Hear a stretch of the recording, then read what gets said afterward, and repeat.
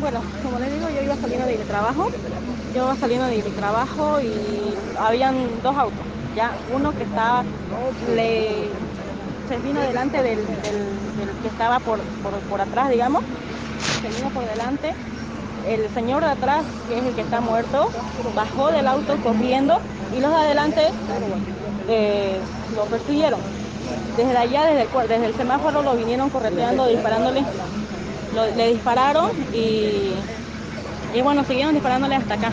¿Cuántos disparos realizaron? Desde allá fueron como unos 3 a 4 disparos. ¿Cuántas personas eran? Dos personas.